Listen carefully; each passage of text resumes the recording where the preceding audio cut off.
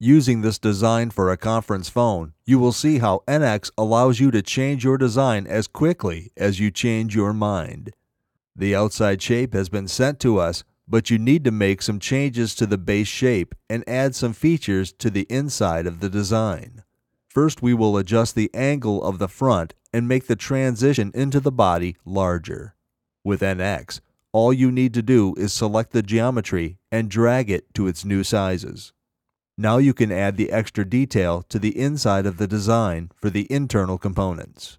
The NX Reuse Library allows you to use common shapes as the start for these new features, and with design freedom, it is easy to adapt the geometry to its new shape.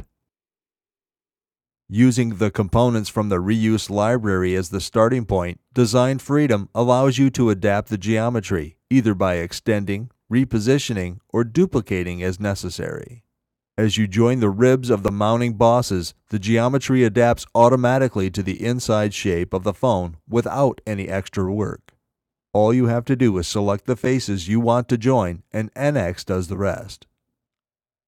To create the mounting point of the speaker, you need to adapt another standard shape, but in this case, it may be easier to edit in 2D rather than 3D.